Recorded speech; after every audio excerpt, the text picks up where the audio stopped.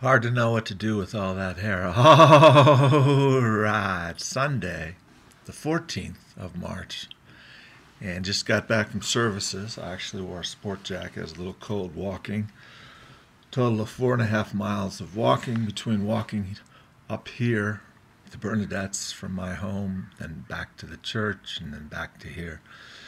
I had a long confession threatened to go to St. Dominic's, and then all of a sudden your priest gives you a lot of attention. Had a long uh, discussion with him, and he he simply didn't get it. You know, they consider masturbation a a sin. You know, uh, having a few beers and all of these things. Uh, I I'm just I'm not going to go Wheatonian again. I'll quit it before I before I embrace things I don't believe in. And the biggest thing was my expression of my rage and feelings to my family who have decided jointly to cut off my money.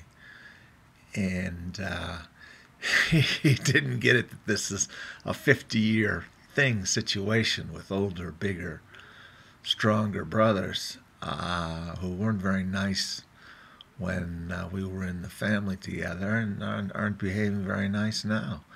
I simply quoted the verse that, that he who refuses to help his own family, his relatives, is worse than an unbeliever.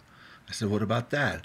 I said, What about when Paul handed the man over for the rebuking of his flesh to Satan because he was doing dead wrong? Or what about when the apostles were set out? What were they supposed to do when they weren't accepted?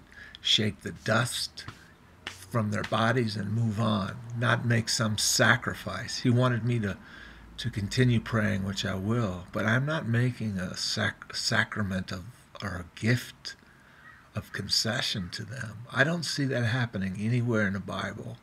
I know a woman who got raped, uh, 16 years old from England, raped, raped while she was a virgin for Jesus, and I don't think it would be prudent to tell that, that woman that she's to find a rapist and then give him a sacrifice of love, you know, buy him a bottle of whiskey and a condom. I, I don't think it works that way.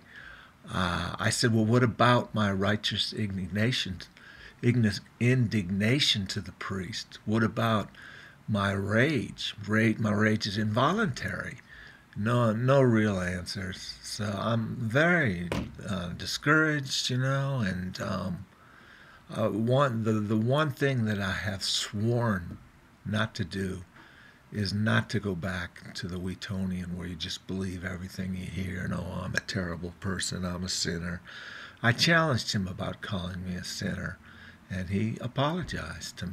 He, he said he was wrong. I told him the story I told him about praying with a cab driver and the babies, and she thought her husband had AIDS, and just desperate situation. And he he, just, he called me a sinner.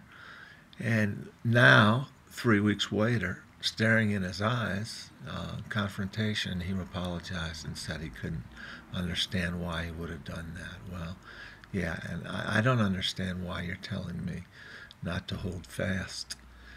And if you know you do apologize and do a sacrament, then then you're just not acknowledging reality, and that's what I did at Wheaton a whole lot. So thanks for listening, Trent. Bye.